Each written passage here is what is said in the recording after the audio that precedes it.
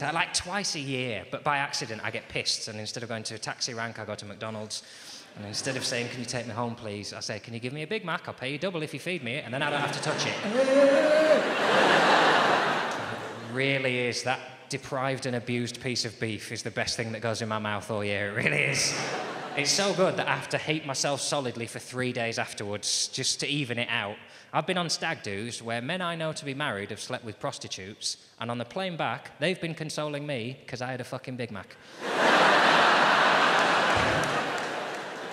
it's how much I will commit to self hatred after a burger. Well, the important thing is, Jon, I think we've all made mistakes, but you have to move forward in your life. You, know, you can't let it ruin the rest of your life. I think we're coming into land, mate. I'm just going to have to go and wash my penis. Okay. It's regrettable. So that, you know, I, I, I did have you, you were wondering with all this, you know, reluctance to be happy, how did you end up uh, becoming happy? And it's because I had a turning point. I had a, a significant moment in my life. Something happened which uh, changed the course of my life, right? And it happened after the wedding of the friend who stag do I'd been on, right? We went back to America. Uh, America is a country, of course, which prides itself on individuals being able to do whatever they want to do, which is not something I am comfortable with, if I'm honest. You can do whatever you like in America, and what I like to do instead is think of things I'd like to do, imagine them ending with me getting hurt, and stay inside and sitting down. Right. So we go out for my friend's wedding, and after the wedding, what happens is we go to a cabin in the wilderness, right? And we decide we're gonna we're gonna drink and play cards and get to know each other again, right? And uh, when we get to the cabin, there's a slight problem initially, which is there's something in the cabin which I hadn't encountered before, which is insects. Right now, I say that because you think, well, we've got insects. We haven't got insects. We've got midges and flies. We've got flying toys, is what we've got. in America, they've got things called hornets and a thing called a cockroach. Now, if you've never seen a cockroach before, they're about the size of a Labrador. if you imagine that Labrador is driving something like a Fiat Seicento, give you an idea of the build of the thing right now. With most insects, I'll be honest, what I do is I uh, scream and I run away from them. That's, that's my first policy. But obviously, you can't do that if they're in your house. You have to deal with them a different way. And policy number two is to stand on them. Uh, I'm not proud of that, but let's be honest, there's billions of them. So I'll just. Eh! Right now, the problem with a cockroach, you stand on a cockroach and absolutely nothing changes. They just carry on about their business, dragging you along with them. If you could get on two, you could ride them into town like that. Built like tanks, they are, right? So I have to elevate to option number three, right? And option number three is to drink until I can't feel them crawling all over my flesh anymore. Because obviously, as we all know, that cockroaches crawl in your mouth while you're asleep, they lay eggs in your stomach and you die. So what I do is I drink an awful lot of whiskey, right? And by the end of the evening, as the smallest one in the group, I'm now what you would call royally shit-faced. I go up to bed, pop a little plastic bag over my head so they can't get me while I'm asleep. I'm not an idiot. I drink, I drink a lot of whiskey, right? I go to bed. Come down in the morning, I'm feeling very sick, right? And uh, my only hope is that all my friends feel as sick as I do, and that's the end of today, isn't it? They say, What do you want to do today? I say, I really want to sit still and not say anything and then sporadically look out of a window, think of some toast, and be sick. I get down there, they're all fine because they're bigger than me and they're not scared of anything like insects, so they're planning the day out. And my mate goes, Hey, Jon, there's a lake down the road. We're going to go and see if we can hire a speedboat. I just can't tell you the many ways in which that's not what I wanted to do with my day, right? When he said that, I heard it in the voice of Michael Buerk, because uh, I grew up watching a program called 999 with Michael Buerk. We all started with things like that. If you haven't seen the program, what it was is people nearly died, and instead of chalking that up to experience, we used to reconstruct it with actors for fun.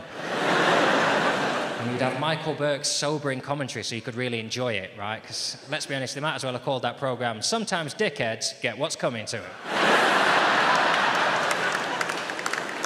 Uniquely moronic people on that program. You'd have Michael Buerk saying, Steve was a diabetic who hadn't eaten for three months when he decided to swim the English Channel. this is going to be a fun one. Everyone gather round. Bring those crisps I bought back from the holiday.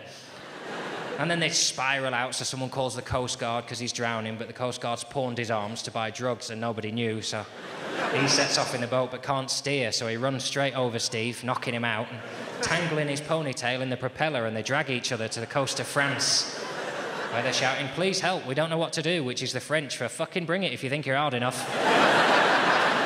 whole war with a village, right? So when he said that, I heard Michael Buerk saying the four alcoholics decided to hire a vehicle they'd never driven before in a country they didn't know. We're going to die today. That's what's going to happen. We're going to die on a boat today, or off a boat. That's the great thing about boats. You can die on or off them. I'm really going to have to stop this happening, right? And uh, it was too early then, so they bundled me into the back of the van. I'm secretly content that you can't just get speedboats, can you? Because they're too big. Do you know what I mean? Like in this country, if you went to the Lake District, so, excuse me, can I have a speedboat? They'd say, "Hi, have you got a speedboat and your speedboat license?" In America, it's slightly different, you see. In America, you drive down to a lake and you'll find a shack by that lake, and you walk into the shack, and behind the desk will be a toothless local.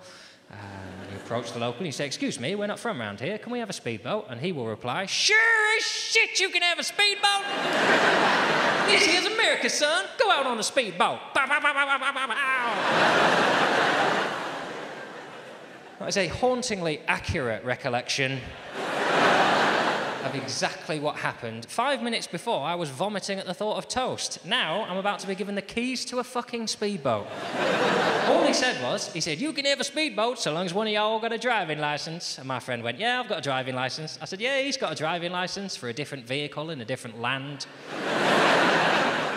I'm still not sure what relevance a UK driving license is to a speedboat in America if I'm honest. You can't go to Australia and say, Excuse me, can I have that air balloon? Of course you can, mate. Can I just ask, have you ever been on Dodgems? Moronic country, right? So he's drawing it through, and I think I've got my first chance here to save everybody's life. They'll not thank me for it at the time, but I'm not going to die today, right? So I said, uh, Oh, I don't suppose you've brought your paper counterpart, though, have you? oh! Looks like I won't be able to go, mate. That's only half a license he's giving you there. You should you're not even listening. Right? This is a license as far as I'm concerned. Pink motherfucker. Ain't never seen one of those before. Let's go get the keys to the boat. off he goes to get the keys. We conger off behind him, right? As we're going across the shop, my friend notices a fridge which is full of beers. And he says, Excuse me, are we allowed to buy these beers? And he says, Sure as shit you can buy those beers. this here's America, son. Get shit faced. Go out on a speedboat. His roof's in tatters.